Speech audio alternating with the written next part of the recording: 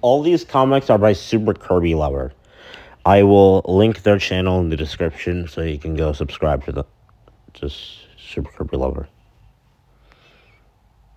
And if Super Kirby Lover, if you're watching this, just know that I love your channel.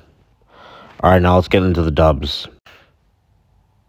Mm-hmm, mm-hmm, mm-hmm, oh my gosh, Mr. Peppino, is that you?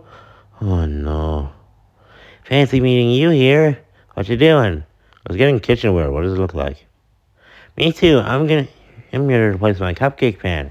It exploded a while back. How did that That reminds me, I even got mittens. I figured you could use a pair too, so I got you one. Oh, thanks, but I'm just fine with using my hands. Ah, uh, but I got these because they reminded me of you. Yeah? Okay. Say, Pep, when did you start using mitts? Thank you so much, Noisette.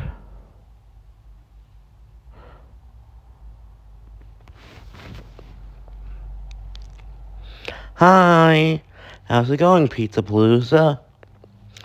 Nice timing. This just finished. Yippee!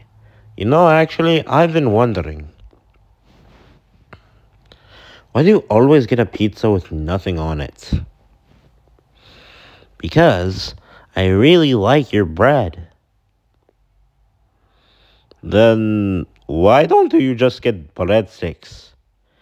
You have those? Oh, dear me.